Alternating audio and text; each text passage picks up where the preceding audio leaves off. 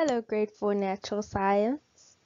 Today we are learning material around us, natural water cycle with Miss T Mfeka.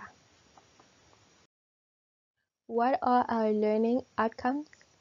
The first one would be to describe how water evaporates, condenses, freezes, um, and melts in the water cycle.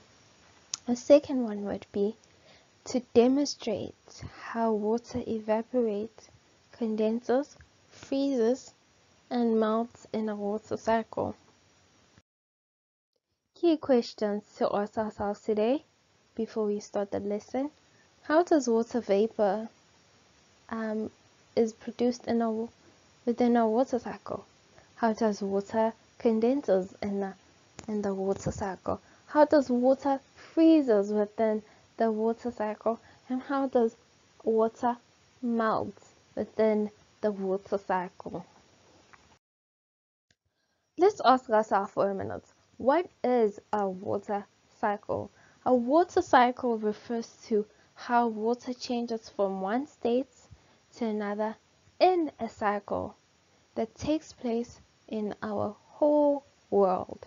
In a cycle, it has a set of events, things, events are things that happen and keep on repeating in the same order as it is looking at the water cycle, just to be brief, before we actually learn it, is water from the ocean itself turns into steam. And that is gas state and it's a process of evaporation and the water turns into clouds as you can see liquids in the sky. And when the, it gets the droplets gets too too heavy the clouds start from condensation. It starts to want to um, let go of the rain which is precipitation. And when that rain comes through down the uh, the mountains by rivers and streams it comes back to the ocean and starts the whole cycle again. Through vapor, uh, vapor, the first one is evaporation, into clouds, condensation, the change of gas to liquid to solid, and letting, uh, letting go the solid to liquid from the sky is precipitation. And it's a whole cycle that never changes start writing and take notes for a minute. Let's look at the stages of the water cycle. The first stage is evaporation. As we mentioned, it started from the ocean. The, the sun heat um, causes the water to evaporation to evaporate from seas, streams, rivers, and lakes. The water vapor rises to the air, turning into liquid clouds droplets, and when the clouds get too much, but wait, as it turns from vapor to liquid and solid in the sky, it's within the process of what? Condensation. Higher up, where the, the air gets cooler and the evaporation condenses forming clouds. Now, the next step is when the clouds get really heavy and filled up all full and now it's time to let go of the rain. It starts doing the third, the third stage which is precipitation and the clouds is full enough to re release uh, droplets of water. Those rain goes down the, the, the mountain into the river, making rivers and streams, and the river and stream always wind up to the ocean, filling up all water bodies. We call that collection.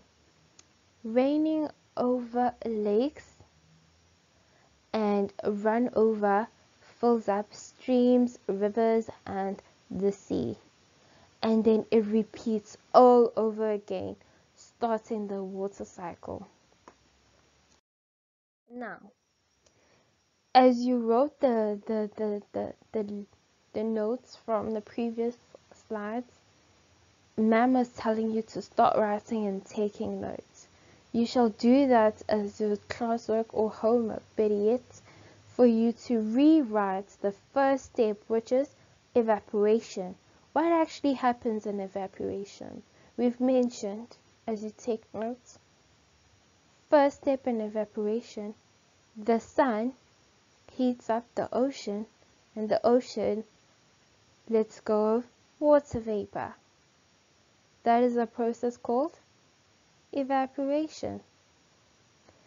The next step would be from the gas turns into clouds. That's the process of what? Condensation. The water vapor condenses into clouds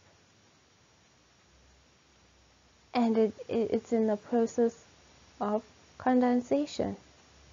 When the clouds get so full that they can't hold water anymore, they, they start to let go, release the, the rain droplets.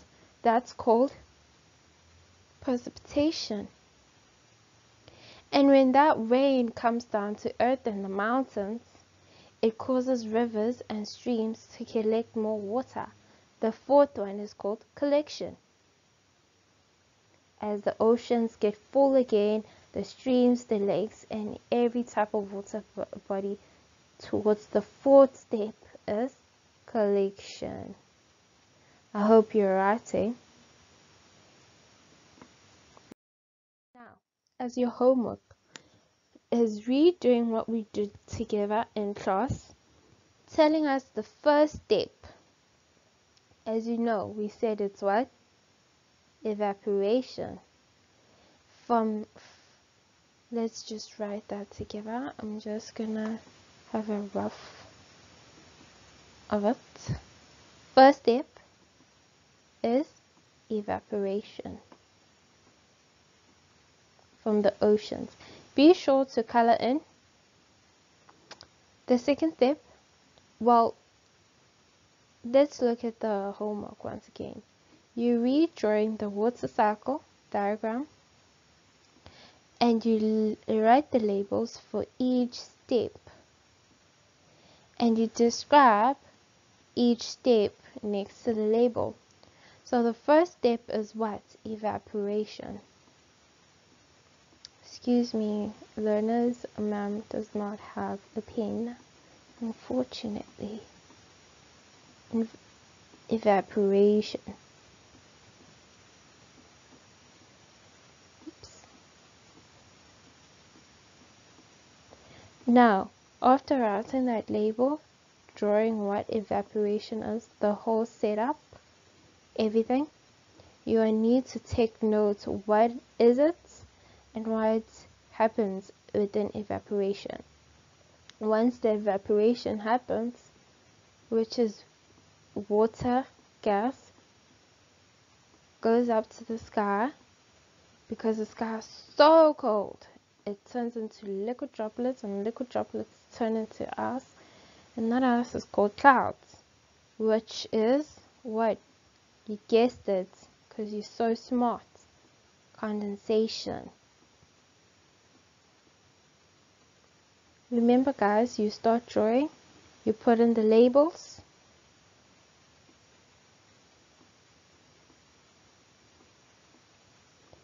and you describe every process, what happens in it, as your homework. You tell me what happened in the condensation. It gets so full, right? It starts moving with the wind. And then it drops the the rain. The full the full cloud drops um, rain. It releases rain. So what do you call that third step mom is not going to tell you because it's your homework. It's something that you're supposed to do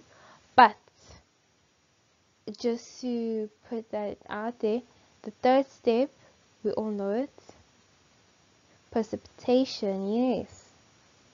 And the water runs off. This step is called what? Collection. Oh, I was trying not to give you guys answers. Collection. So that's me giving you a rough of what I expect. I expect a drawing, I expect labels, I expect a description of what happens for each step in your homework. Now, in conclusion, what did we do today? We looked at the water cycle and ref refers to how water changes from one state to another in a bigger state in a bigger in a bigger scale of uh, change in states and how it takes place in the whole world. A water cycle has a process of evaporation, condensation, precipitation, and collection, and it repeats. The water vapor turns into um, clouds through condensation, and clouds melts into rain, liquid, and repeats. So, a good we have so much love for you, my bright stars. I hope you do well, and goodbye from Miss um, Mfeka. Please don't be afraid of looking for more content in the YouTube channel for Miss Mfeka. Comment, share, and tell me what you want to see next time. Bye.